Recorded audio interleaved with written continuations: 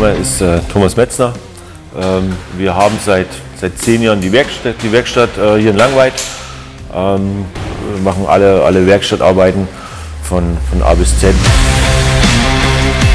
Also unser nächster Termin ist äh, fest im Kalender, die Automechaniker zu besuchen, einfach um äh, neue Themen äh, erf zu erfahren oder kennenzulernen.